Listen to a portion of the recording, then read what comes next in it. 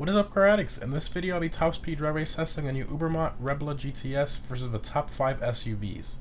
Keep in mind that this track is perfectly flat, therefore the results are not the same as testing in a city or on a highway where the speed is different. All cars are fully modified. Also, as newer cars release, the positions of these cars may change. If you're wondering why certain SUVs are missing, that's because they were too slow to make it into the top 5 list. The timestamps for each one will be in the pinned comment where you can select exactly which races you want to see. I will also summarize the results and provide my overall opinion on the Rebla GTS at the end of the video with the timestamps in the pinned comment as well. Hope you enjoy.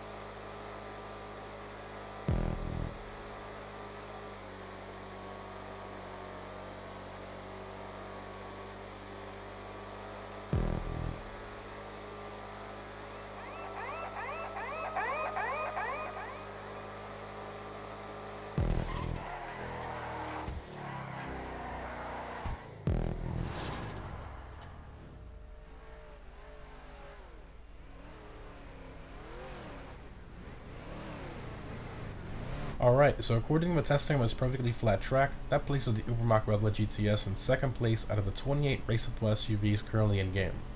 That is right behind the Toros, which is in first place.